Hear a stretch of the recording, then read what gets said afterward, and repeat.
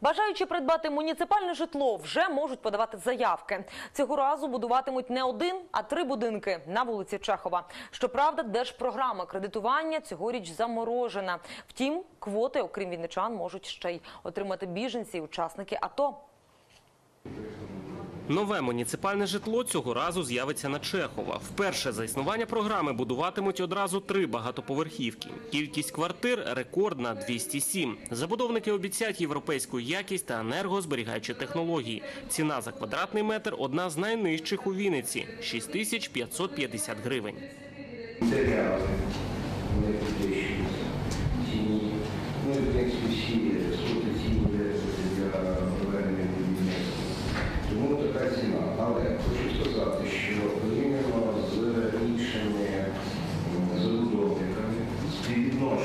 співвідношення і якості, на нашу думку, саме ну, таке вдале. І на нашу думку, саме Окрім вінничан, стати власником муніципального житла відтепер можуть учасники АТО та біженці зі сходу та Криму. Щодо військових, то умови надання їм житла ще вирішуються. Переселенці ж будуть кредитуватись так само, як і мешканці міста, під 16% річних строком до 30 років. Це була державна програма 3%. Е, Вона називалась програма іпотечного доступного житла. Е, Зараз ви знаєте, що всі державні програми призупинені, тому е, пільгового кредитування, на жаль, не буде.